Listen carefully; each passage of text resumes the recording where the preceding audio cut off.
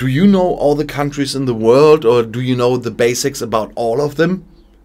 I didn't either. But that's why I started this small series to give you at least a brief overview on the most important data of their political system. And today's video is about St. Kitts and Nevis.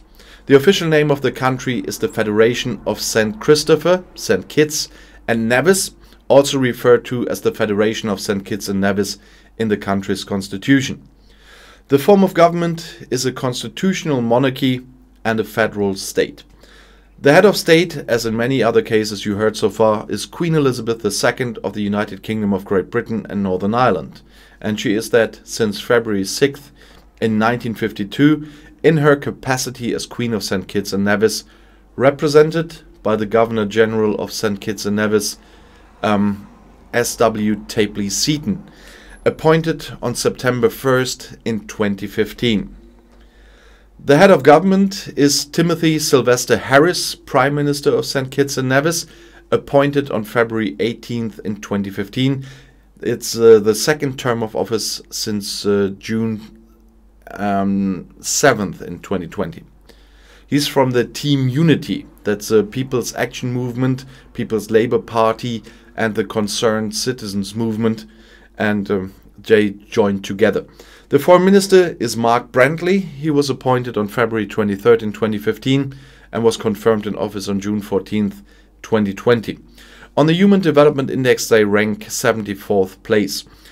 According to the constitution from 1983, the country is a parliamentary monarchy in the Commonwealth of Nations with a federal structure, and the head of state is thus the British monarch, currently Queen Elizabeth II. She is represented by a Governor General. Sir Samuel Weymouth Tapley Seton has held this office since September 1st in 2015. There is a National Assembly with 11 elected members and 3 members appointed by the Governor General, with eight of the elected seats for St. Kitts and three for Nevis. The legislative period is five years. Nevis also has its own parliament with three appointed and five elected members. Denzil Douglas, Prime Minister from 95 to 2015, um, was the last before the current one and a very long lasting one. In the parliamentary elections on February 16th, Prime Minister Denzil Douglas, who had been in power for 20 years, was replaced by former Foreign Minister Timothy Harris. His People's Labour Party formed a co coalition with the Concerned Citizens Movement and the People's Action Movement. The country is a member of CARICOM, the OECS, the OAS, and one of the sponsors of the University of the West Indies. In December 2008, the government decided to reinstate the death penalty by hanging Charles Elroy Laplace, convicted of murder. In doing so, the government tried to combat the high crime rate, which makes St. Kitts one of the countries with the highest number of homicides per inhabitant. It was in 2008 45 homicides per 100,000 inhabitants.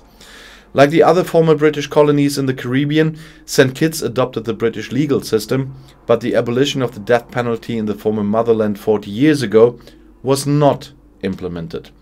The highest legal authority uh, for St. Kitts is the Privy Council in London, which has overturned some death sentences already in the last few years.